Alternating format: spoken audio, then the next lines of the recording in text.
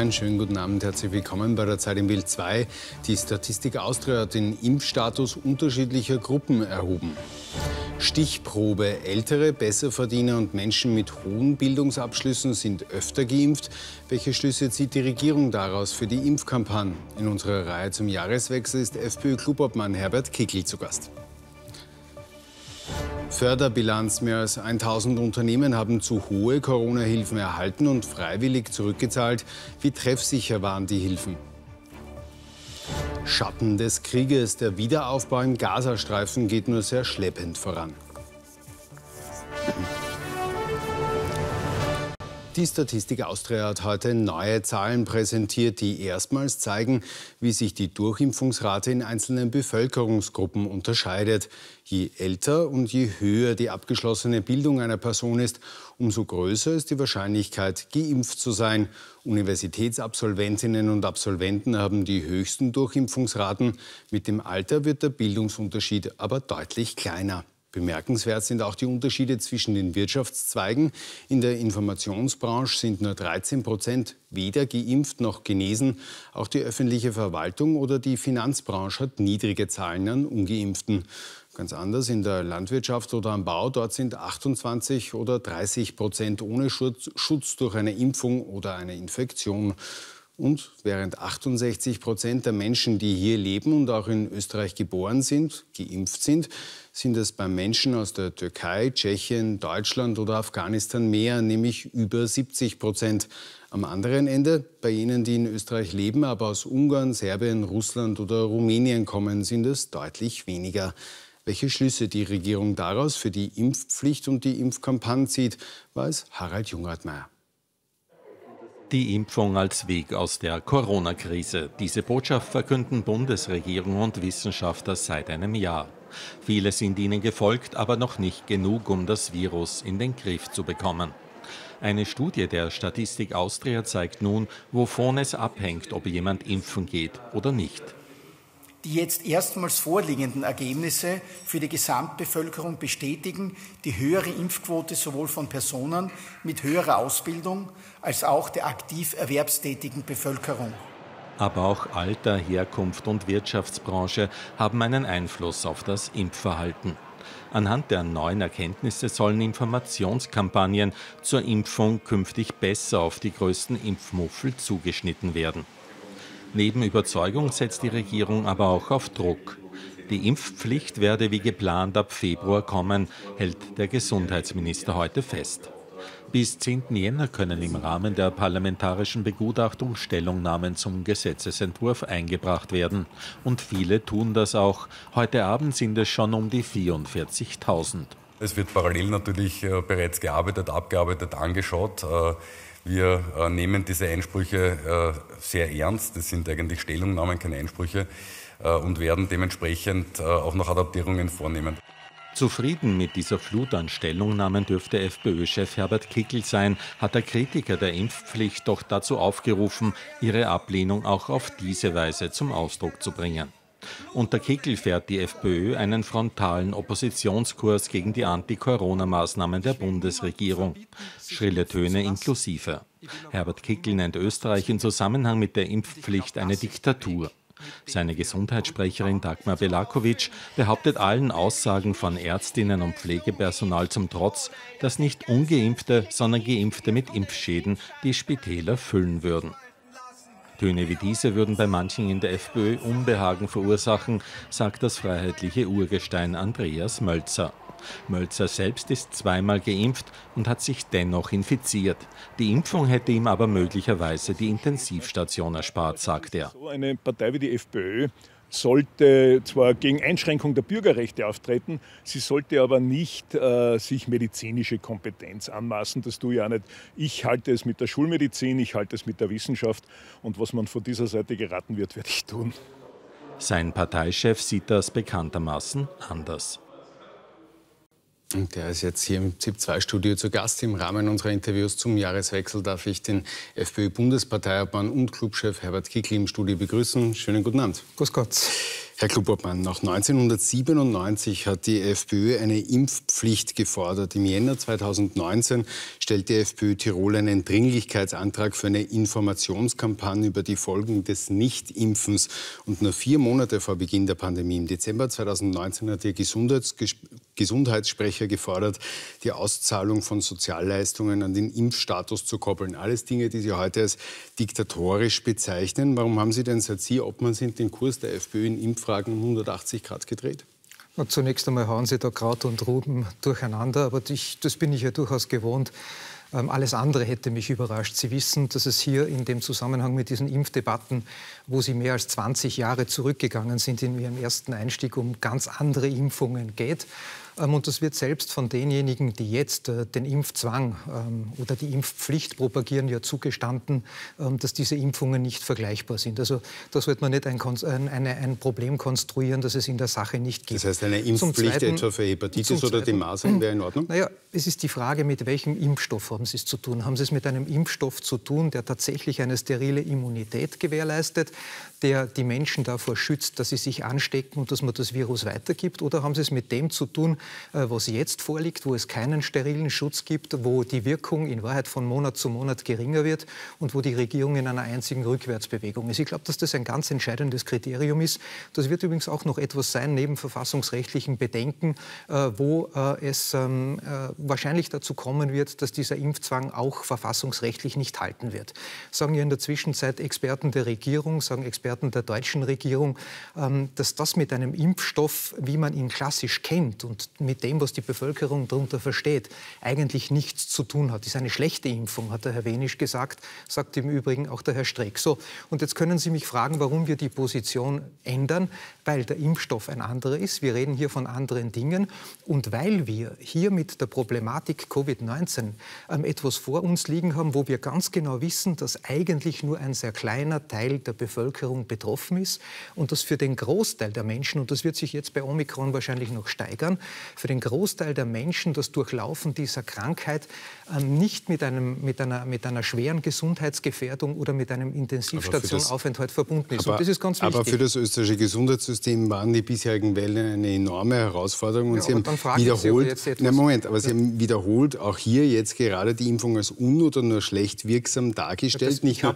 ich habe, Ihnen, ich habe, Ihnen, aber auch gesagt, dass das nicht meine Interpretation der Dinge ist. Ich habe Herrn Wenisch zitiert, der als Regierungsexperte berühmt geworden ist mit aber dem Foto, wo er sich, die, immer wieder wo er sich die diese Impfung, Impfung verabreichen hat lassen. Dann stellt er sich mit Regierungsvertretern hin und sagt, Herr Kickl, ich würde gerne meine Frage stellen. Sie haben, immer wieder, Sie haben immer wieder die Impfung, die Wirkung der Impfung in Frage gestellt. Haben, äh, ich hätte hier hunderte Zitate. Die Impfung ist eine lahme Ente. Die schlechte Wirkung der Impfung wird von Tag zu Tag sichtbarer. All das. Sie ja, haben immer wieder Aussagen über die Wirkung der Impfung getroffen und nicht nur Ärztinnen und, und Ärzte, sondern auch wesentliche und hochrangige Vertreter jetzt, ihrer Thiel? eigenen Partei, darf ich die Frage ja. bitte fertigstellen, widersprechen Ihnen da mittlerweile sehr, sehr laut öffentlich. Wie groß ist denn der Rückhalt in Ihrer eigenen Partei, äh, wenn Sie immer wieder auch sich zu medizinischen Themen inhaltlich äußern?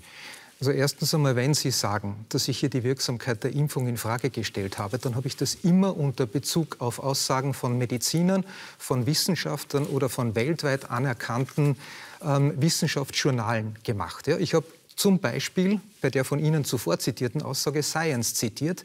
Ich habe israelische Wissenschaftler zitiert, die die Wirkung der Impfung folgendermaßen beschrieben haben. Die Impfung wirkt, aber sie wirkt nicht gut genug. Und das war auch der Grund, warum ich bereits vor dem Sommer den damaligen noch Bundeskanzler Kurz gefragt habe, auf welcher Grundlage er seine politischen Versprechen im Zusammenhang mit der Impfung abgeben kann, wenn doch Israel, das eine viel höhere Impfquote hat und das Testlabor nach Eigendefinition der gesamten Welt ist, zu ganz anderen Ergebnissen kommt. Und wenn nicht einmal Vertreter der Impfstofffirmen selber diese Prognosen machen.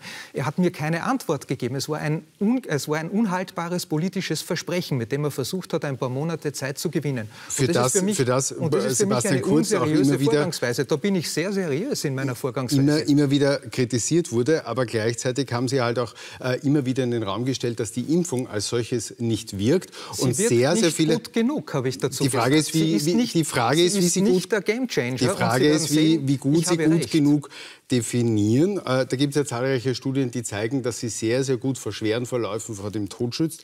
Äh, und äh, wir sehen das ja auch heute an den heutigen Zahlen in, in den Krankenhäusern. Wir haben da eine Grafik vorbereitet von einer Million vollständig Geimpften sind statt heute 13 Personen auf einer Intensivstation. Von einer Million nicht vollständig Geimpften sind 108 Personen auf einer Intensivstation. Also sehr viel deutlich kann man ja die grundsätzliche Wirkung einer Impfung eigentlich kaum darstellen.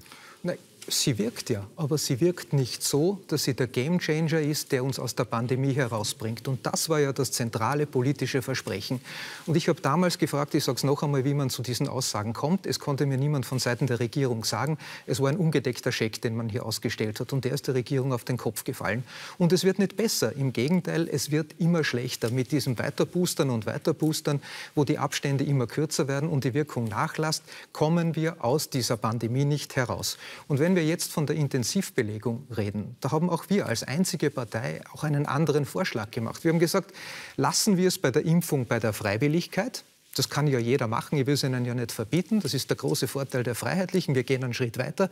Jeder soll das tun können, was er, äh, was er will im Zusammenhang mit der Impfung. Aber nutzen wir auch andere Möglichkeiten, die es gibt beginnen wir doch frühzeitig mit Behandlungen zu Hause durch einen Arzt, natürlich mit verschriebenen Medikamenten auf das Risikoprofil von Patienten angepasst. Aber auch hier haben Sie wieder, aber auch hier haben Sie wieder Mittel empfohlen, den wir, deren Wirkung wir nicht nachgewiesen ist. Den wir fallen lassen. Sie haben hier immer wieder Sie haben hier auch immer wieder Mittel empfohlen, deren äh, Wirkung nicht nachgewiesen ist oder mittlerweile sogar das Gegenteil bewiesen ist. ist ja Ganz prominent das Mittel Ivermectin, äh, das bei Menschen vor allem gegen Parasiten und Krebs Spritze eingesetzt wird.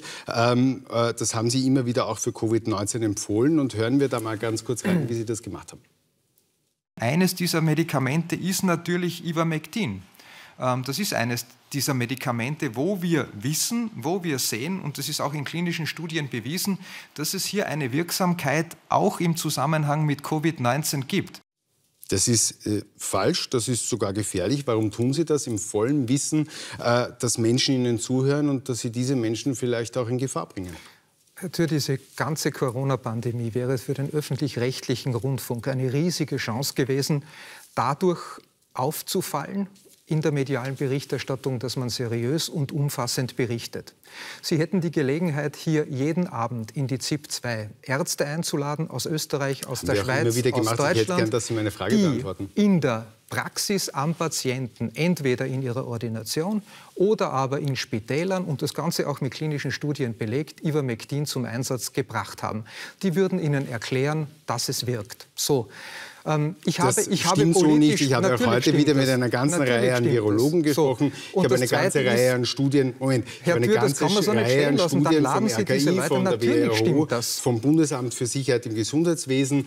Äh, hier, die alle sagen, Ivermectin ist für den Einsatz bei der Covid-19-Erkrankung nicht, die Wirksamkeit ist nicht nachgewiesen. Äh, und äh, ich hätte noch eine, ein anderes, ich, ich hätte noch ein anderes einen Zitat. politischen Vorschlag ich hätte noch ein anderes Zitat, Sie mir, warum eine, den nicht aufgreift. Eine, eine ehemalige äh, FPÖ-Gesundheitsministerin, nämlich Beate Hartinger-Klein, äh, möchte ich zitieren. Die sagt äh, zu ihrem Ivermectin-Vorschlag, das sei, Zitat, letztklassig und indiskutabel, das entspreche keiner medizinischer Evidenz und stünde einem Politiker nicht zu. Liegt sie also auch falsch? Ja, da liegt sie falsch. Und äh, noch einmal, ähm, sie ist auch keine Virologin, das sage ich nur dazu, und sie ist offensichtlich auch nicht umfassend informiert. Und das stört mich jetzt, ähm, dass auch Sie als Vertreter des öffentlich-rechtlichen Rundfunks hier in eine Kerbe schlagen, wo Sie die Bevölkerung für blöd verkaufen.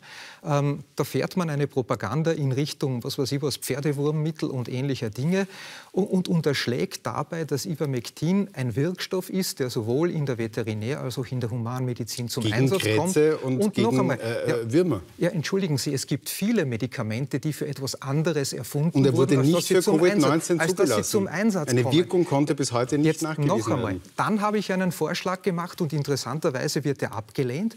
Dann machen wir doch in Österreich bei den hohen Infektionszahlen eine Studie. Machen wir Folgendes. Behandeln wir die Hälfte der neu infizierten Personen nach den Medikamentenschemata, die ja nicht ich erfunden habe, die in der USA, die in, in vielen äh, anderen Ländern weltweit zum Einsatz kommen und wo eine der Möglichkeiten davon, eine davon, neben vielen anderen, auch Ivermectin ist, machen wir eine solche Studie, behandeln wir Patienten frühzeitig nach einer Infektion mit Symptomen und machen wir eine Kontrollgruppe, wo wir das nicht Diese tun. Studien gibt es auch, das, das machen Wissenschaftler, das werden nicht das Politiker lösen. Nein, warum, wissen Sie, warum diese Studien nicht gemacht werden? Weil die Pharmaindustrie daran kein Interesse hat, weil logischerweise Ivermectin ein sehr, sehr billiges Arzneimittel ist. Das ist das Problem. Und es werden ja jetzt bald Tabletten auf den Markt kommen, eine davon von Pfizer, die mit dem gleichen Wirkmechanismus arbeiten, die heute ein Vielfaches davon kosten. Und jetzt bitte sind Sie nicht so naiv, ähm, als dass Sie mir erklären wollen, dass bei der Pharmaindustrie Geschäftsinteressen nicht eine maßgebliche Rolle spielen. Das würde mich dann sehr enttäuschen, wenn Sie das glauben würden. Ich, ich würde gerne die virologische Debatte zwischen uns beiden etwas abkürzen und noch zum anderen Thema kommen, nämlich zum Thema Demonstrationen gegen die Corona-Maßnahmen. Die FPÖ veranstaltet ja einige davon. Sie nehmen auch an Kundgebungen teil. Sie wurden bereits sehr oft gefragt zur Beteiligung rechter und rechtsextremer Gruppen an diesen Demonstrationen. Mich würde heute ein anderer Aspekt interessieren, nämlich bei diesen Kundgebungen vergleichen sich viele Demonstrierende mit äh, Juden, stellen die Corona-Maßnahmen in eine Reihe mit der systematischen Judenvernichtung im Dritten Reich. Bisher habe ich keine Aussage von Ihnen gefunden, die diesen Antisemitismus auf Corona-Demos verurteilt. Kriege ich die heute von Ihnen? Nachdem Sie zuerst eine Antwort auf die Vorwürfe gebracht haben, was diese, diese, diese Rechten betrifft, die dort angeblich auftreten, das ist ja auch eine, eine Erkenntnis, eine Erkenntnis des Jahres 2021, dass Leute, die für ihre Grund- und Freiheitsrechte demonstrieren und die für eine Verhältnismäßigkeit und Ausgewogenheit bei Covid-Maßnahmen demonstrieren, dass das jetzt die neuen Rechtsextremen sind. Da wird man noch viel zu lachen haben in den, in den, darf man in den nächsten rechtsextrem bezeichnen, dann, oder? Na, was heißt das dann rechtsextrem? Liegt irgendetwas vor in strafrechtlicher Hinsicht, dann, dann gehen Sie bitte. Na, dann ist es Ihre Moralvorstellung, oder was ist es dann? Es ist ein politikwissenschaftlicher Begriff. Aha, okay. Und der entscheidet jetzt darüber, ob jemand seine staatsbürgerlichen Rechte wahrnehmen darf oder nicht? Nein. Aha, okay. Na, ich habe Ihnen auch keine Frage dazu gestellt. Ja, ich habe Ihnen eine Frage. Dann, aber was gibt es dann zum Aufregen? Gar nichts. Und jetzt ich habe eine, zweiten, eine Frage gestellt zu der Frage, zu von Antisemitismus ich bei höre ja immer, ja, Ich höre ja immer, ich höre ja immer im Zusammenhang mit, also wenn, äh, wenn man äh, den Nationalsozialismus verurteilt, vollkommen zu Recht, äh, dass dieses totalitäre Regime, dass der Nationalsozialismus ja nicht mit einem Weltkrieg Krieg begonnen hat und nicht mit irgendwelchen Vernichtungslagern, sondern er hat damit begonnen, dass man Menschen systematisch ausgegrenzt hat. Er hat damit begonnen, dass man zum Beispiel Kinder, weil sie jüdischer Abstammung gewesen sind, nicht in die Schule gelassen hat. Wenn jetzt dort Leute zum Beispiel mit einer israelischen Flagge herumrennen, dann tun sie das nicht deshalb, weil sie den Nationalsozialismus verherrlichen, sondern weil sie die Kritik zum Ausdruck bringen wollen, äh, die in Form einer Sündenbockpolitik hier stattfindet. Da gehen Menschen mit Judensternen auf die Straße, halten Schilder in die Höhe, auf denen steht Impfen macht frei. Das relativiert die Verbrechen der Nationalsozialisten äh, und die Millionen äh, Toten äh, natürlich. Herr Thiel, Erstens einmal, das ist eine Kritik am Nationalsozialismus und überhaupt nichts anderes. Und ähm, wenn Sie ehrlich zu sich selber sind, dann werden Sie mir das auch zugestehen. Und wenn das jetzt eine Verharmlosung des Nationalsozialismus ist, dann möchte ich nicht wissen, was das dann ist, wenn irgendwelche politischen Gegner der Freiheitlichen mich und andere als Nationalsozialisten oder als Leute, die eine Affinität dazu haben, bezeichnen. Was ist denn das dann? Ähm, nur ganz kurz, wir sind schon äh, sehr weit über der Zeit. Ich würde Sie noch ganz gern zum nächsten Jahr fragen. Äh, da wird nämlich eine Wahl anstehen. Sie müssen sich nämlich wieder einen Bundesparteitag stellen, diesmal einem ordentlichen Bundesparteitag der FPÖ. Sie haben heuer äh, bei Ihrer ersten Wahl 88,2 Prozent äh, erreicht. Liegt nächstes Jahr Ihre Hürde bei über 90 Prozent? Ja, es darf immer mehr sein, aber gegen die äh, Parteivorsitzende der SPÖ waren ja die 88,2 Prozent ein Sensationsergebnis. Ja, aber Sie werden ja wohl besser dastehen wollen. Werden, ich glaube, es werden das nächste Mal mehr sein. Lassen Sie sich überraschen. Eines befürchte ich. Ich glaube, es können noch deutlich mehr werden und Sie werden immer noch ein Haar in der Suppe finden. Aber setzen Sie sich das Ziel über 90? Ich werde mir das Ziel dann setzen, wann der Parteitag ansteht. Herr Klubobmann, vielen Dank für den Besuch im Studio. Gerne. Koste es, was es wolle. Mit diesen Worten hat die Bundesregierung jene Wirtschaftshilfen angekündigt, die Unternehmen durch die Corona-Krise helfen sollen. Bei einigen Unternehmen meinte es die öffentliche Hand aber offenbar zu gut. Es kam zu Überförderungen. Mehr als 1000 Betriebe haben bereits zu viel erhaltene Hilfen zurückbezahlt. Freiwillig. Wer das nicht tut, dem drohen Strafen. Vanessa Gruber und Ulla Krammer-Schmidt berichten. Geschlossene Geschäfte, stockende Lieferketten, leere Kassen. Um die Einbußen der Betriebe abzufangen, hat die Regierung kräftig in die Steuergeldkasse gegriffen. 42 Milliarden Euro Wirtschaftshilfen wurden bereits ausbezahlt bzw. zugesichert.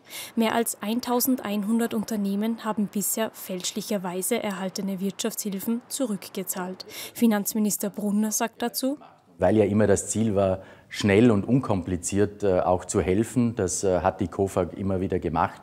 Äh, und da sind vielleicht auch Missverständnisse passiert. Und jetzt haben die Unternehmen die Möglichkeit, diese zu viel erhaltenen Mittel auch zurückzuzahlen. Doch es gibt auch laufend Kritik an den Corona-Hilfen. Im Frühjahr zeigten veröffentlichte Beihilfedaten, dass es zu Wettbewerbsverzerrungen gekommen ist, weil die Zahlungen nicht auf Konzernstrukturen abgestellt sind, sondern auf Einzelgesellschaften, was Ketten mitunter begünstigt. Gestern erst hat die Gastrobranche in einer Aussendung die schleppenden Auszahlungen an mittelständische Unternehmen bemängelt. Heute kritisiert die SPÖ, dass es vor allem dort, wo hoher Wareneinsatz mit hohen Personalkosten zusammentrifft, zu Überförderungen gekommen ist. Die großen Unternehmen müssen natürlich äh, diese Beihilfen nehmen. Äh, die will ich da gar nicht kritisieren. Es ist einfach die falsche Politik äh, der türkis-grünen Regierung gewesen. Wichtig ist, äh, dass jedem geholfen wird. Das sage ich ganz offen, äh, dass überall die schwarze Null steht, aber dass nicht einige wenige unglaublich profitieren. Das ist halt nicht, nicht gerechtfertigt. Die SPÖ hat sich Bilanzen angesehen und legt Berechnungen vor, die zeigen sollen, dass die Wirtschaftshilfen bei einigen Betrieben zu Gewinnsteigerungen geführt haben. Vergleicht man das erste Covid-Jahr 2020 mit 2019, hätte es in der Kfz- oder Baumarktbranche zum Teil Gewinnsteigerungen von bis zu 250 Prozent gegeben, im Elektrohandel von bis zu 130 Prozent. Ganz so scharf will der Steuerberater mit den Förderungen aber nicht ins Gericht gehen. Also im Grunde muss man sagen, keine der Hilfen, die es gab, war mal per se auf Überförderung ausgerichtet. Über diese Hilfen wacht ja auch die EU sehr stark. Äh, bei manchen Instrumenten wie der Kurzarbeitsbeihilfe oder dem Verlustersatz kann man eigentlich Überförderung schon per se ausschließen.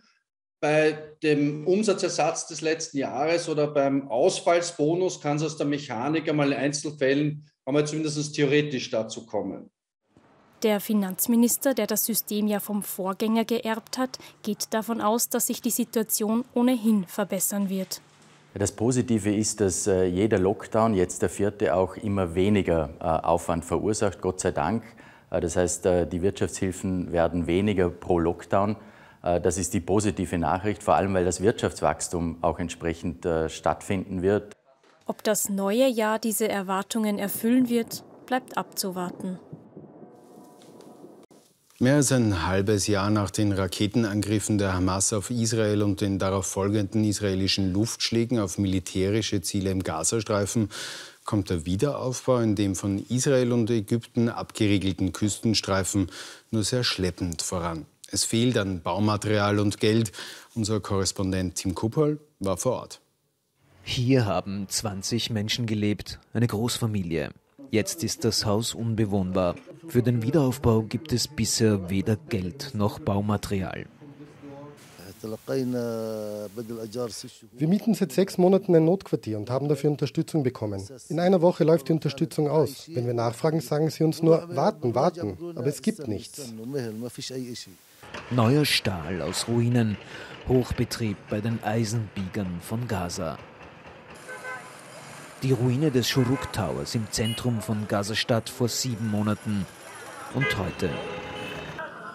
Das Eisgeschäft gegenüber hat wieder geöffnet. Den Schaden hat der Besitzer aus der eigenen Tasche gezahlt. Ein zerstörtes Wohnhaus in der Al-Wachta Street vor sieben Monaten. Heute nur eine Baulücke.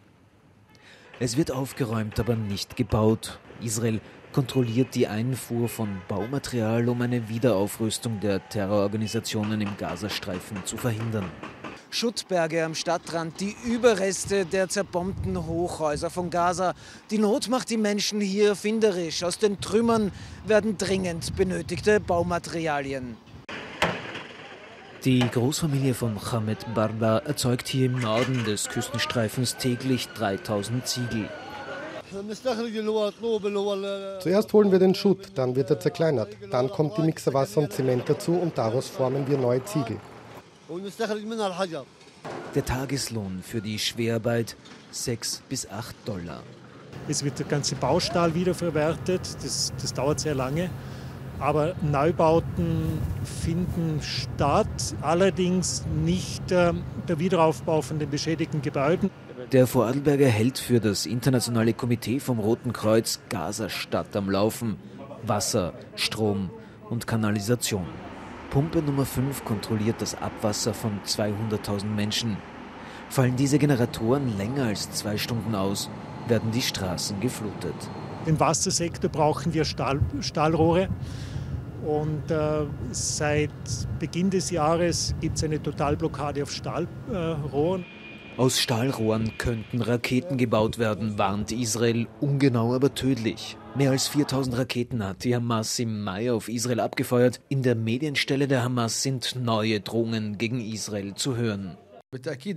Ganz sicher, wenn der Wiederaufbau so langsam weitergeht und sich die Blockade zuspitzt, mit beispiellos hoher Armut und Arbeitslosigkeit, dann kann das wieder zu einer Explosion in Gaza führen, in alle Richtungen. Was ist mit den versprochenen 500 Millionen Dollar für den Wiederaufbau? Hürden bei der Überweisung.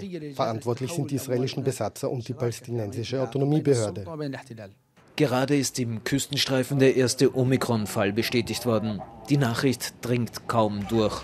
Die Menschen denken vor allem an den nächsten Tag. Es ist Winter in Gaza. Berichtet Tim Kupperl und wir blicken jetzt noch auf weitere Meldungen vom Tag im Überblick. Der oberste Gerichtshof in Russland hat die Auflösung der Menschenrechtsorganisation Memorial angeordnet, weil es gegen das sogenannte ausländische Agentengesetz verstoßen hätte.